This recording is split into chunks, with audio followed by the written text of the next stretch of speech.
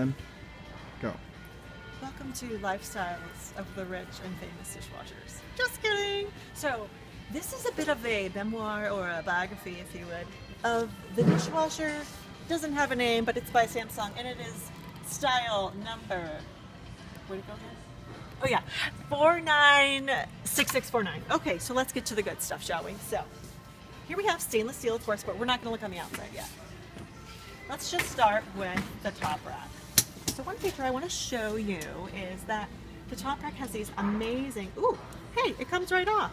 This would be really good to like, maybe like delint your clothes. Anyway, do you see these? These are for wine glasses, so for all you winos out there, just kidding. So you can do like red, white, champagne, look at all these things, blush wine, Napa Valley, I want to go there. All right, so this is gonna hold your stems up. The advantage is that they're not gonna break. So you went to Ikea or you went to Crate and Barrel, you registered, you fought with your fiance, you got it. You're not gonna break, okay? You worked really hard for those wine glasses. Now, these are called tines, and these are actually adjustable. They're on the top and bottom.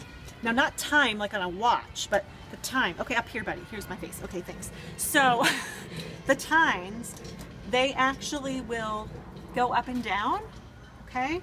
Oops, I'm not doing that very well, but they do move, and that's so you can um, put other product in here, like bigger pots and or even like a, a, a, dish that's bigger. So you can take this up and down and you can put flatter items on top. And we're gonna roll here to the bottom. Now, I already put the tines down. And you can clean your time with your tines. you know the spice anyway. So these go up and down. It says right here, removable tines. You can actually take um, this whole piece out if you'd like.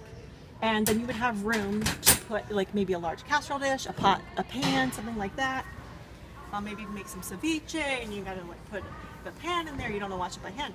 Now, speaking of not washing by hand, do you see what this says? Do you see this?